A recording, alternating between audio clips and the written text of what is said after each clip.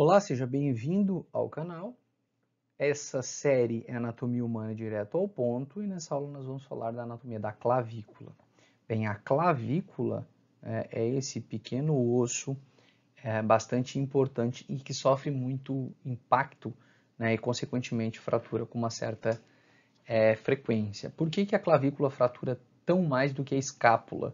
A escápula, né, que é um osso que eu vou falar em outra aula, ela não se articula com, pertence ao esqueleto apendicular, né, ou seja, ao membro, mas não se articula com o esqueleto axial, ou seja, com as costelas. Ela vai ser presa por, apenas por músculos. A clavícula não, a clavícula se articula aqui, ó, né, com a escápula e com o externo. Então, muitas vezes em traumas indiretos, aí eu vou cair, coloco a mão para me proteger, essa energia ela é transferida para a clavícula, a clavícula passa para o externo, mas o externo acaba devolvendo, né? Porque o, a, o arcabouço costal, né? ou melhor, a, a, caixa torácica é mais forte e a, e a clavícula acaba se fragmentando muitas vezes aqui, na maioria das vezes, entre o terço médio e o terço lateral, ou seja, nesse ponto aqui. Bem, a clavícula possui duas extremidades, uma extremidade acromial, que faz contato com o acrômio da escápula, uma extremidade external, que faz contato né, e, e se articula com o manubrio do externo, um corpo.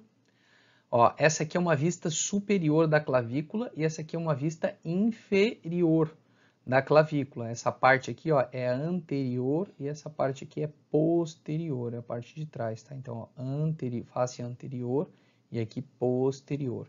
Bem, nós vemos aqui ó, na, por uma vista inferior algumas impressões ou marcas, né, ou alguns acidentes, né, tuberosidades e por aí vai. Aqui eu vejo a linha trapezoide ou linha trapezoídea.